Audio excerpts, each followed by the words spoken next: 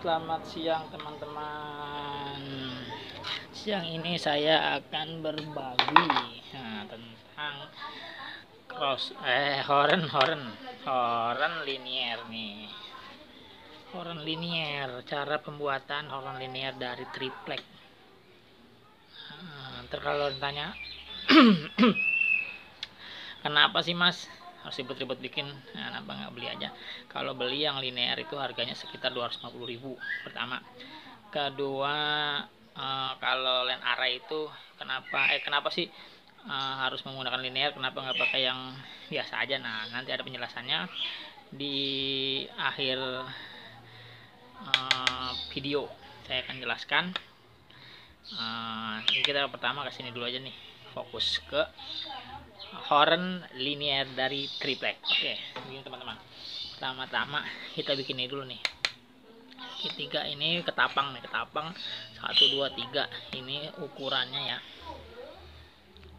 Kira-kira lebarnya 7 cm teman-teman.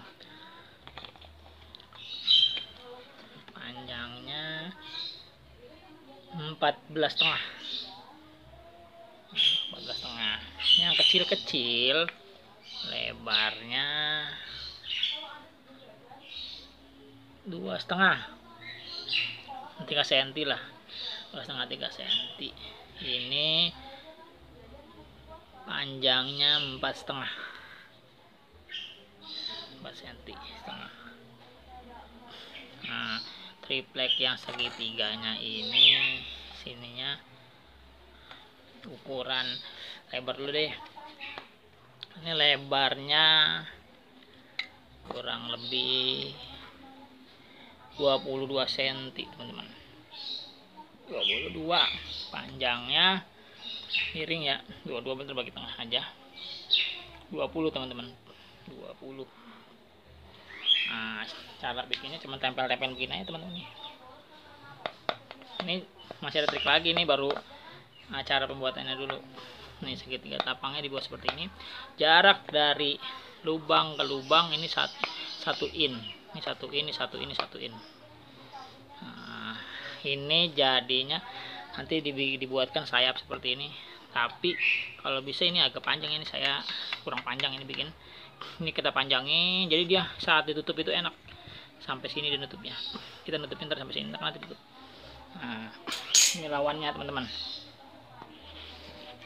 seperti ini kurang lebihnya nih. Nih. Lebihnya lebihnya kurang nih. Kurang lebihnya seperti ini teman-teman. Tuh begini teman-teman. Kurang lebihnya. Contoh jadinya. Tuh di depan tuh bentar. Nah ini contoh jadinya. Jadi nanti ini dibuatkan list kotak. Ya. Nah ini yang tadi saya bahas.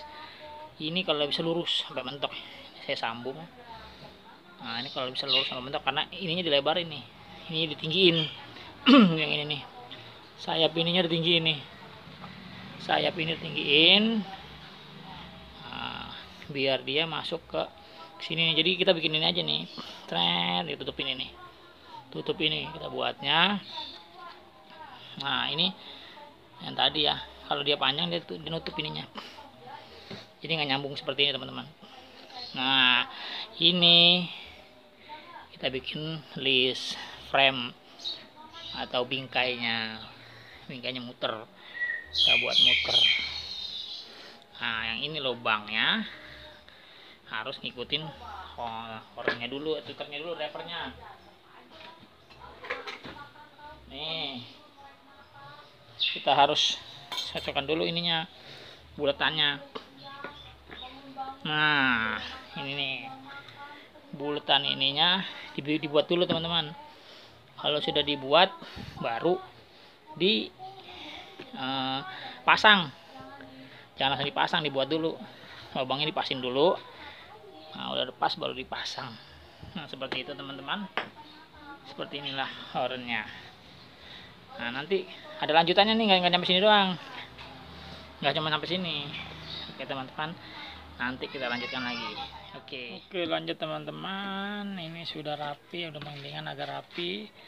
Tapi jangan lupa ya ini harus benar-benar tertutup nih. Kenapa? Karena metode terlanjutnya adalah memberikan resin di dalamnya. Nah, dalam ini kita kasih resin. Caranya tutup lintar nih rapet. Pakai plastik atau apa. Nah, didangain seperti ini baru diresin. Diresin sampai penuh. Kalau kita pakai tiga atau empat habis dari sini pindahin lagi ke orang satu lagi pindah lagi orang satu lagi. Jadi tujuannya agar dalemannya ini kena resin. Kenapa harus kena resin? Nah nanti saya jelasin lagi. Oke